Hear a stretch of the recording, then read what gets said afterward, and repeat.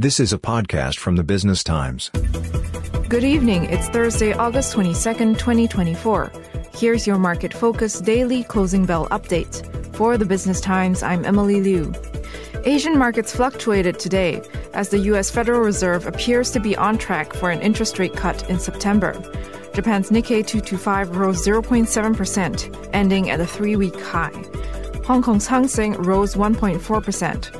Korea's Kospi, Australia's ASX 200, India's Nifty 50, and Singapore's STI all rose 0.2%, while China's CSI 300 fell 0.3%. Amazon Web Services has launched its AWS region in Malaysia, committing to a 6.2 billion US dollar investment in the country through 2038.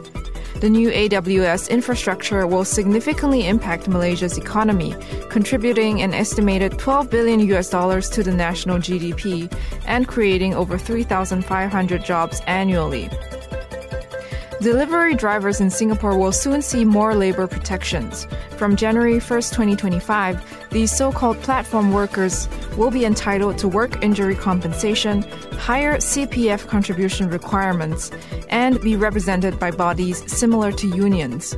The government's Platform Workers CPF Transition Support Scheme will provide monthly cash payouts to low wage platform workers, covering 100% of the increase in CPF contributions for 2025 and 75% for 2026, with the offsets gradually reducing and ending by 2029.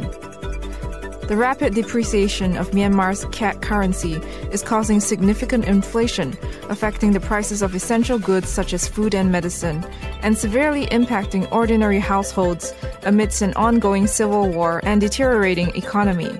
The Myanmar kyat has been extremely volatile in recent days, plunging to a low of 7,500 to the dollar in the black market last week, from 5,000 earlier in the month.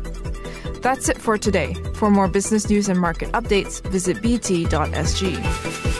This is a podcast by the Business Times.